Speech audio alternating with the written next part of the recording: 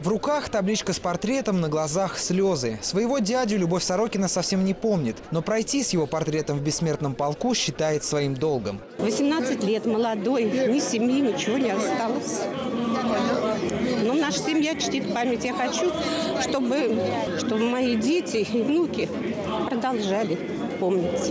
Так же, как и Любовь Сорокина, от Садовой площади до площади Победы строем прошли более 1200 владимирцев. Акция «Бессмертный полк», организованная при поддержке шестого канала, во Владимире проводится уже во второй раз. Идею, придуманную томскими журналистами два года назад, подхватили по всей стране и даже за ее пределами. В этом году «Бессмертный полк» добрался даже до Коста-Рики и Сан-Хосе. И у каждого в руках транспаранты с фотографиями родственников, участников Великой Отечественной войны, не доживших до наших дней. Все они в единой колонне памяти памяти?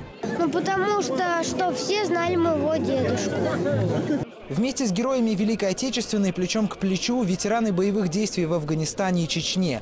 День Победы – праздник, объединяющий подвиг всех тех, кто когда-то воевал. Если бы мы в 45 году, наши деды, не победили бы в этой войне, неизвестно, что бы было. Во главе огромное полотно «Знамя Победы», увеличенная копия того самого флага, который в 45-м водрузили над Рейхстагом.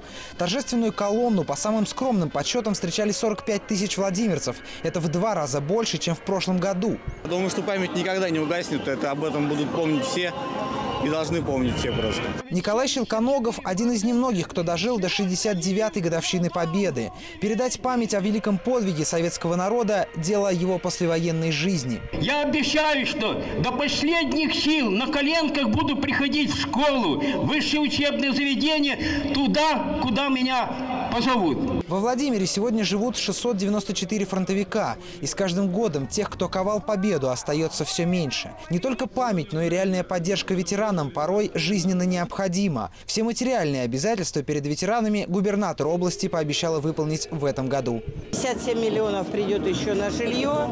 А, значит, э, те, кто стоит в очереди, мы за этот год все проблемы с жильем решим. Вот. И по всему обеспечению, которое есть э, и должно быть у ветеранов. Мы сейчас еще проведем проверку счетной палаты, как у нас эти все мероприятия выполняются. И потом отчитается Кукушкина, Шаров, все департаменты, кто за это отвечает.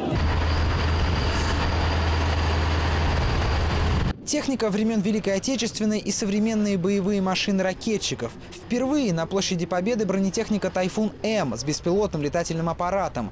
Собравшиеся признают, с такой обороной можно спать спокойно. Какая техника сегодня? Самая современная техника. Видели вот БТР, видели ракетные комплексы обеспечения. Я считаю, что вот та задача, которую ставит сегодня президент к 2020 году, на 70% перегрузить нашу армию э, самым современным оборудованием. Это основная задача усиления могущества и мощи нашего государства. Однако останавливаться на показанном в этом параде военные не собираются. В следующем году владимирцев обещает удивить еще больше. Сегодня мы завершаем мероприятие в 0 часов, отмечая 69-ю годовщину, а завтрашнего дня начинается подготовка к 70-й годовщине. Так что год у нас впереди есть. За год власти вместе с Владимирским гарнизоном пообещали вести серьезную работу не только по подготовке торжеств 9 мая, но и на протяжении всего года. Алексей Соков, Евгений Токарев, Александр Мажаров, Артем Сыров, Илья Слаутин, Шестой канал.